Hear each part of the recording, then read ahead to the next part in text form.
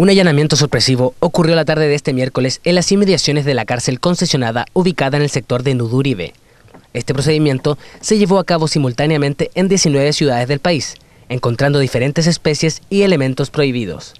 El método de actuar fue revisar y allanar el módulo 52, 53 y 54 del Centro de Cumplimiento Penitenciario Concesionado de Antofagasta, donde cumplen condena 328 reclusos. En la ocasión, el personal de los grupos especializados de Gendarmería, en conjunto con los funcionarios de la unidad penal, lograron la incautación de 25 aparatos celulares, 16 chips de celulares, 27 armas cortopunzantes y 60 litros de licor artesanal, que tenían como destino alterar la conducta de los reos. Como uno de los tantos allanamientos que realizamos nosotros periódicamente,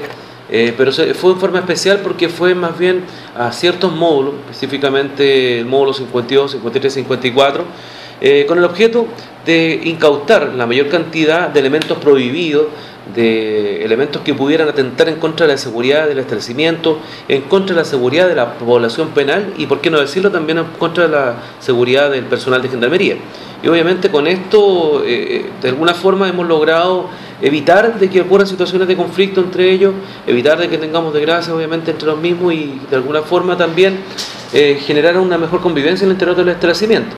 En todo el territorio nacional, este allanamiento logró sacar de circulación más de 900 elementos prohibidos, como armas cortopunzantes, teléfonos celulares, chips y baterías, entre otros. Esta fue una medida preventiva de Gendarmería, que pretende mantener un eficaz control de la población penal y evitar situaciones de violencia, hechos que durante la época estival suelen aumentar, ya que las visitas a menudo disminuyen por el hecho de que las familias se alejan de los lugares de residencia habitual, lo que produce que los reos se vuelvan más violentos. El calor también hace su parte.